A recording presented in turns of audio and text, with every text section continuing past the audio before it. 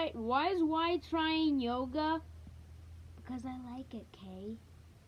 In fact, Kay, you should try this. Yoga? Ooh, I really want to do that. Alright, after this then we'll do take 88.